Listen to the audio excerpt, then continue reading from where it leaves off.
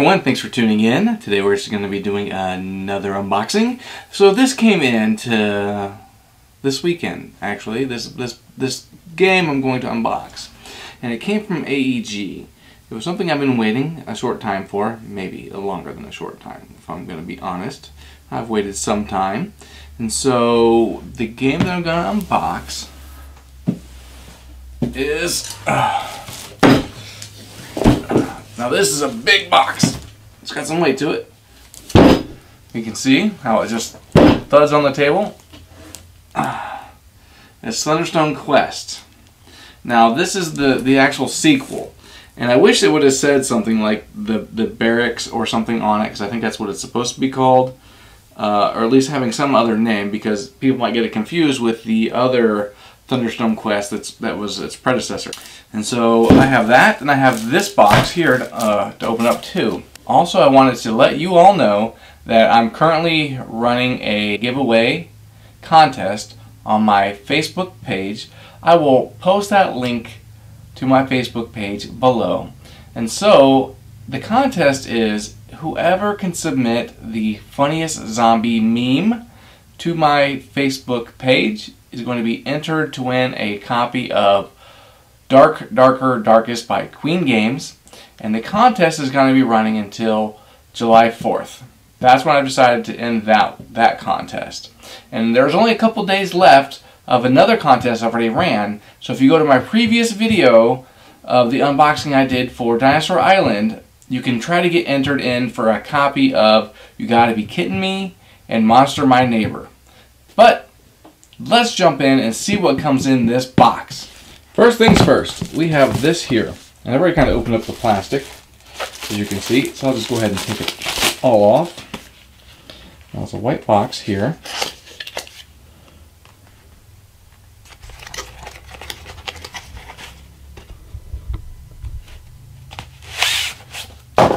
So, it's actually a play mat for the game.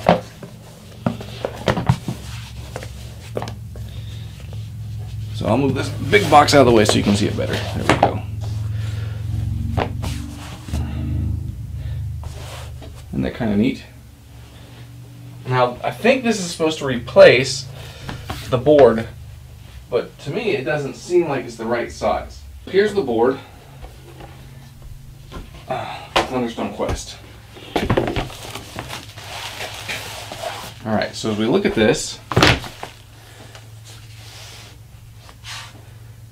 It has the marketplace cards here instead of on the side. Back this up a little bit. So we have the marketplace cards here, and then we have slots here. Two, four, six, eight. Two, four, six, eight. And over here we have the guild's quarters, and then we have four slots here. So if we go here, we see the guild's quarters, and then four slots. And if we go up here to the bazaar, see the marketplace for this, I don't know why it's dashed out for. But then we have the bazaar where you would put the bread, lanterns, and holy water in.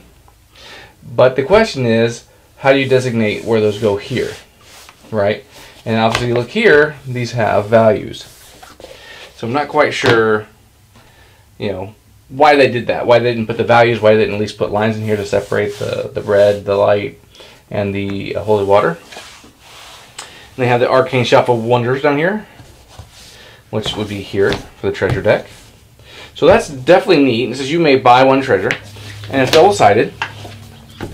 So one side looks kind of like a darker town, but you flip it over to the other side, then you have something a little bit better, brighter, vibrant. It's got four slots here, eight slots here, but then if you notice here, it doesn't have that same cutout, or like, you know, dashed line. It just says the bazaar and the marketplace. So I like it, I just wish it was a little bit bigger. And also they have the temple down here. So I'm wondering if this box will contain a board as well. Because obviously this was additional.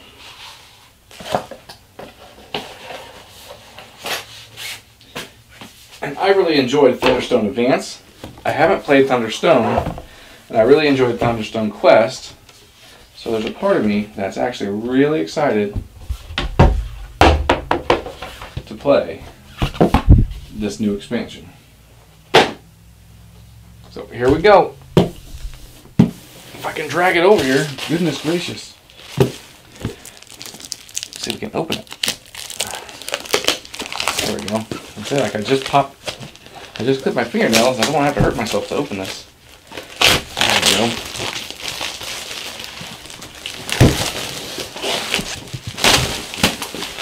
Ta-da! Spun around like magic.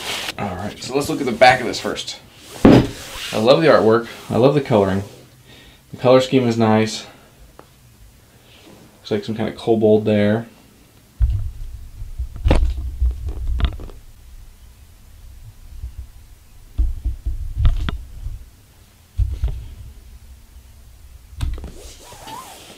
Alright.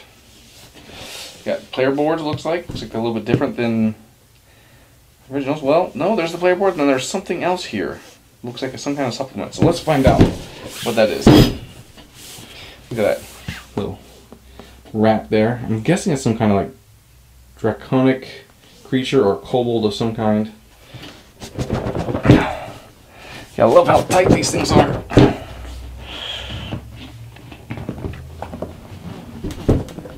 There we go. Woo! All right, so there, see, barricades. I said barracks earlier, but it was barricades. So barricades mode. I mean, look at that artwork there. It's like an ice giant or some kind. We got a goblin over here.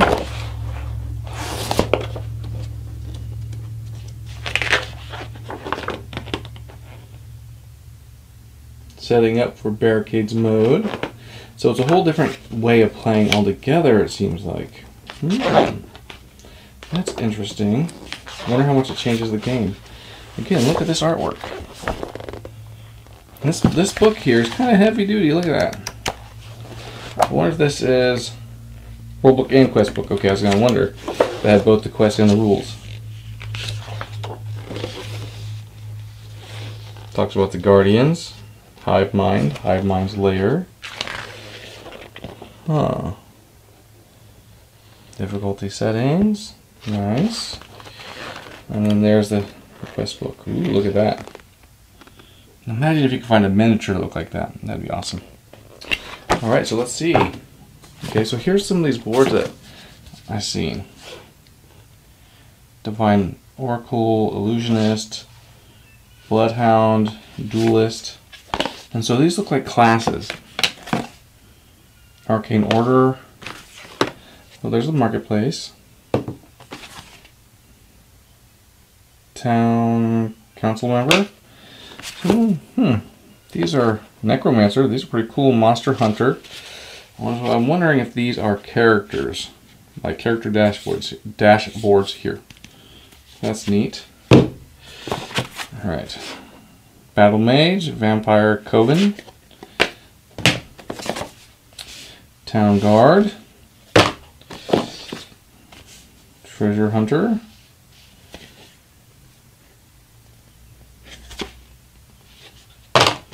And this should be a player board. Yep, there it is. So the way this looked in the, the back of the box is that you actually, yeah, just like that. Look at that. So that goes actually with it.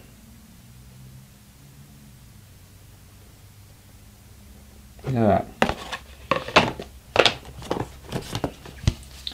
So there's two punch boards.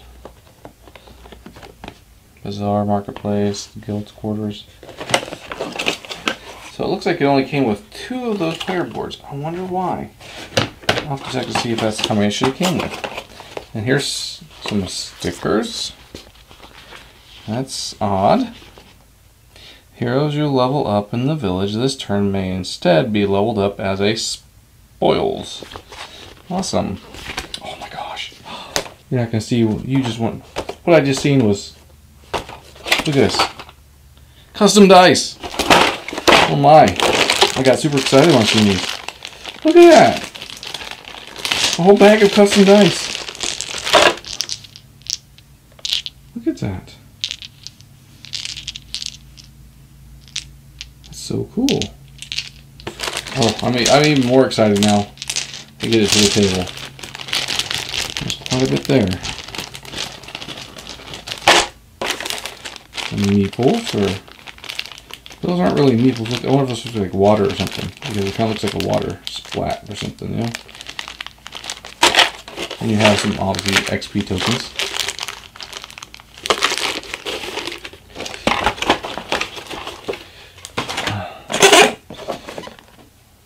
Okay, so why there are two of these boards? It's because this is to be played, I'm guessing, in addition to the, the other Thunderstone Quest. Because this says in here for one to six players. And so that's how they changed the game. They added two more players. So I do believe the other box says two to four players. Or maybe one to four players. It says two to four players. Yep. So they gave you the ability to solo, and they gave you the ability to play with six players. Interesting. Okay.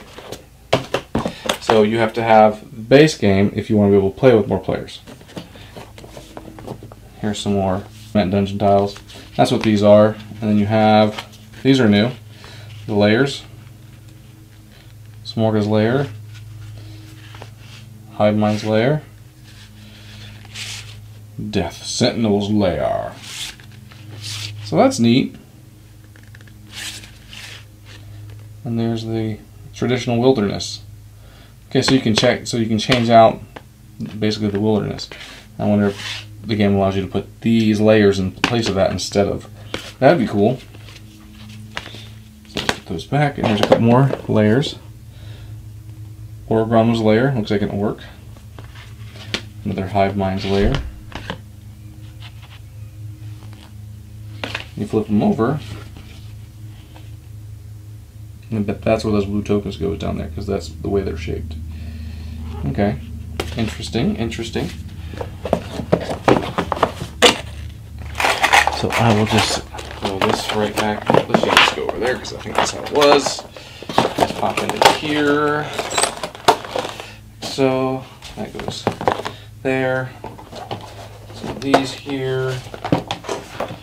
Put these right here like that.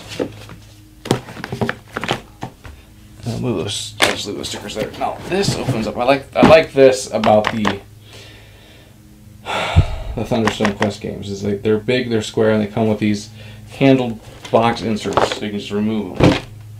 They come with two additional miniatures. Let's check these guys out.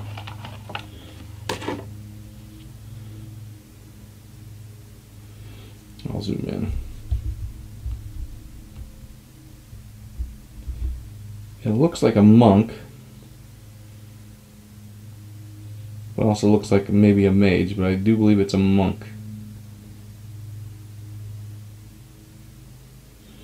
Alright. Let's check out this other one.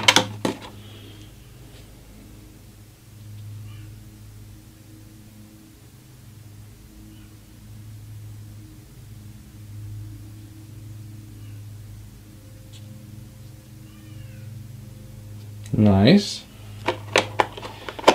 Can't have six players without two more of those. You got a nice dice bag. Look at that. Looks like a kobold footprint. It's kind of cheap. You can see kind of right through it. At least I can. Now you can too. See? Kind of cheap. Cheap, cheap, cheap. But oh, now there's the bulk of everything. Look at all these cards. Look, finally a giant rat. It's vermin what lies beneath. Now I'm not going to open these because I like to go through them in in sequence. So Frozen in Time, there would be the first one. There's the second one. Oop. That is the Vermin Swarm. Elemental Vermin Swarm. Look at the artwork on it though. Frozen in Time number three. What Lies Beneath. Three. Frozen in Time 2.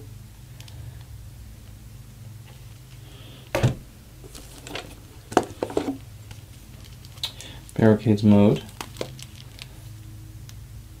So there's the cards for those boards, for the barricades. What, what lies beneath one? Oh, there goes that. Quest 6 and 7 Epic support. Hmm. Quest 6 and, six, Quest 6 and 7 Epic support again. In Barricades Mode 1. And then these should be the Yep, the inserts. Ooh, look at that. Wound cards. That's that's nasty. Look at that. That's a gaping wound. Ugh. Player 5 starter cards.